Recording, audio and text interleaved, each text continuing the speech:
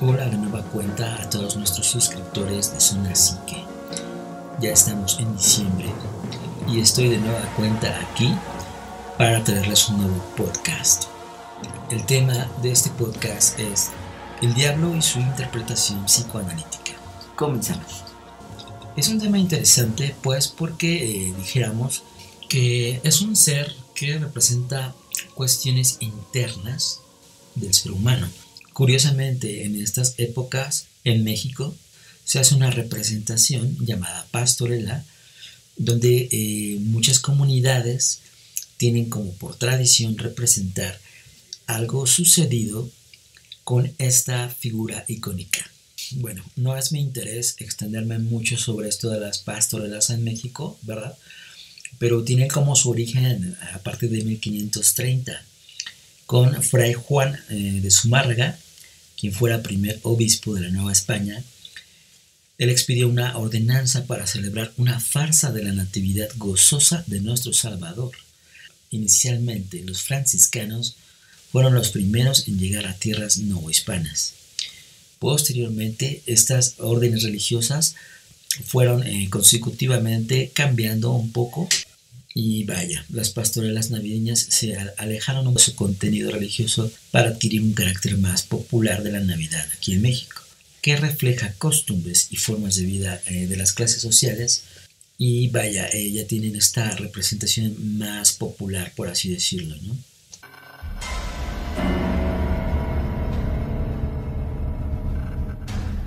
Pero bien, nuestro interés es hablar de, de Freud y de esta otra figura icónica eh, de la religión, ¿no?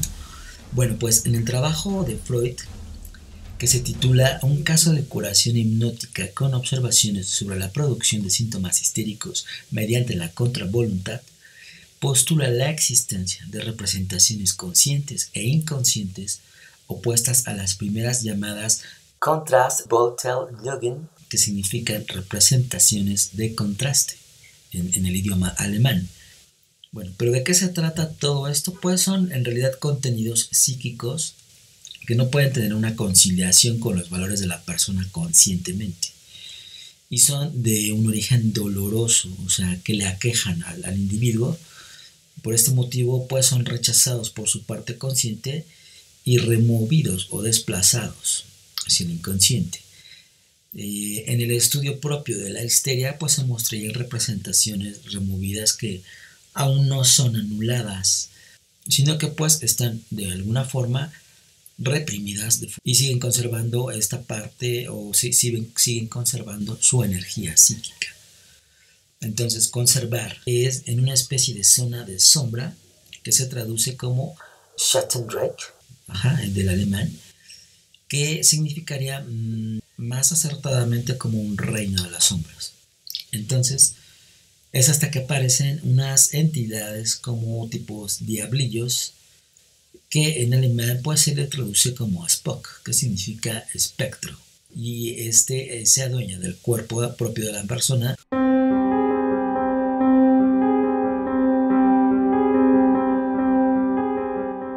Es decir, esta es una explicación de cómo este reino de las sombras pues se asocia a la imagen inconsciente al reino de los muertos, por lo tanto es una especie de infierno.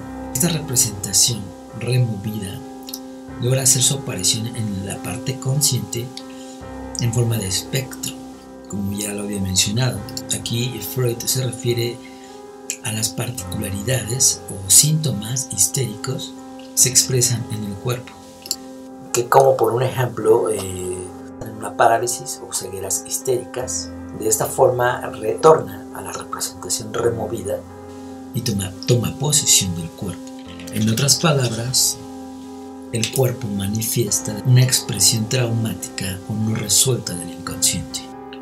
Bueno, pero aquí lo interesante eh, del psicoanálisis y de la figura icónica del diablo es que tiene una relación muy íntima con el cuerpo. Es decir, de una forma muy interesante, eh, el diablo representa cosas pulsionales.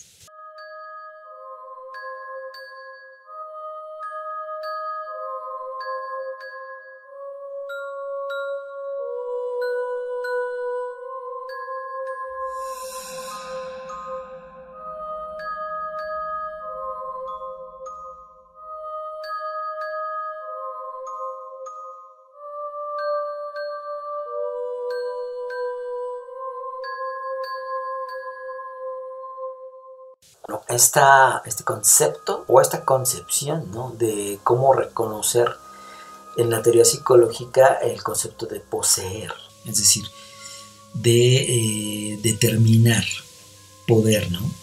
Es decir, que es una muestra de poder, de tener algo, de hacer lo suyo.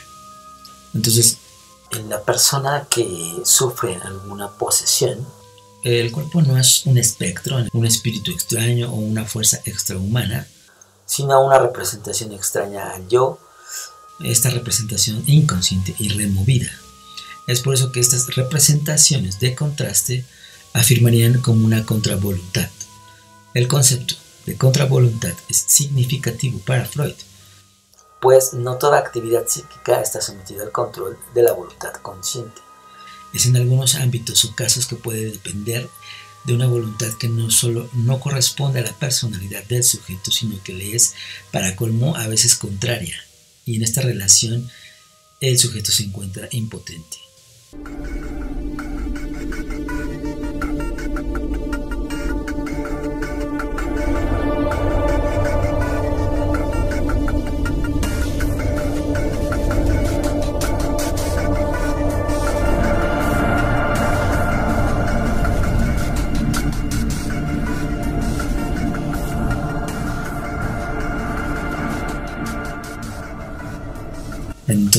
Lo cual quiere decir que si el sujeto en su estado consciente es muy tímido, en este estado alterado de conciencia él va a estar o va a ser totalmente lo opuesto, va a ser eh, liberal, este, extrovertido. Y si él en el plano consciente es muy moral, en este estado él va a ser totalmente inmoral, no va a sentir culpa alguna, ¿no? Al contrario, se va a mofar de la culpa.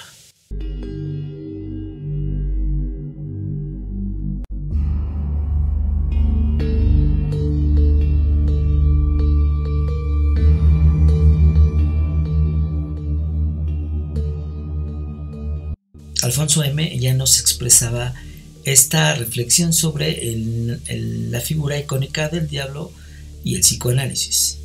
Esta figura ¿no? del diablo refleja cuatro experiencias psíquicas diversas. El padre por el cual se tiene o se siente una admiración y de cuya potencia sexual el niño siente envidia. Por eso aquí la fuerza sexualizada y libídica del demonio. El padre contra el que se advierte una decidida hostilidad y que al mismo tiempo es hostil al hijo. De ahí la figura diabólica que porta eh, pene y destrucciones, así como el hijo que emula al padre, es decir, que, que lo copia deliberadamente a Dios. El diablo, en esencia, quiere y transmite poder, ¿no? Y por último, el hijo se desafía al padre, como un gran rebelde que se vuelve contra Dios y que es arrojado del cielo, recordando la figura de Lucifer en ese, en ese ámbito.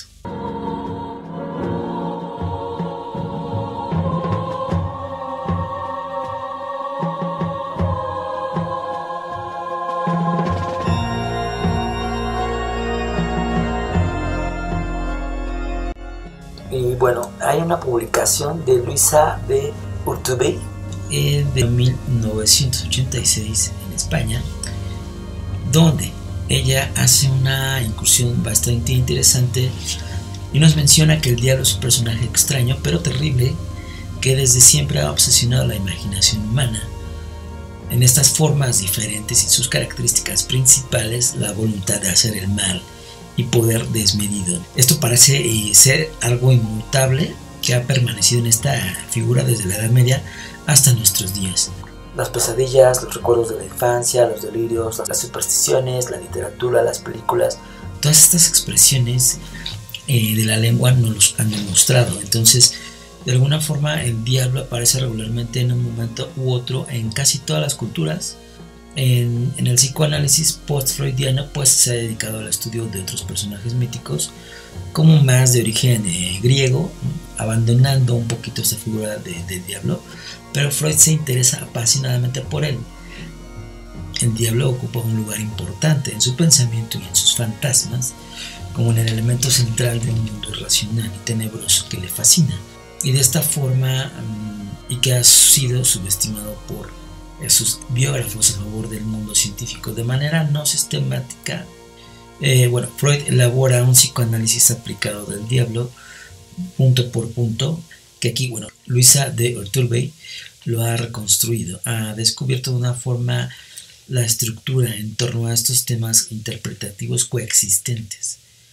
Entonces, de acuerdo a este primero, el, diablo es una representación en primer lugar del inconsciente, después de las pulsiones libidinales reprimidas y finalmente de la pulsión de muerte. Es decir, según eh, esto, el segundo, el diablo es el representante del padre malo, por ser seductor. Analizando de una forma más profunda estos dos temas, Luisa eh, sugiere que el diablo pulsional representa para Freud en cada momento de su pensamiento lo que es más inconciliable con el yo y lo que es menos mediatizado por el proceso secundario. Es decir, tras el diablo mal padre seductor se oculta la pareja combinada angustiante y el mal objeto excitante interiorizado. Es frente a este diablo padre que se constituyen tipos de compromiso.